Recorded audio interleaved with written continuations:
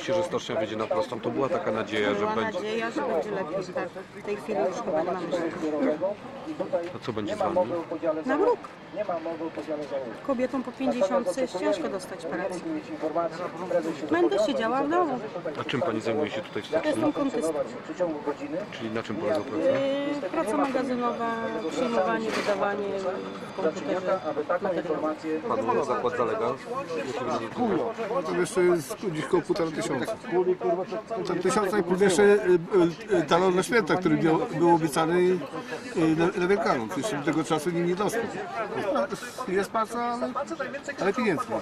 Jeżeli ja, będąc na pracownikiem produkcji, mogę dostać, a kolega elektryk nie może dostać, to co ma w domu powiedzieć? Że wszyscy dostali, a, ja nie, a on nie dostał? Strajkuję, bo jutro już nie mam za co przyjechać do zakładu pracy.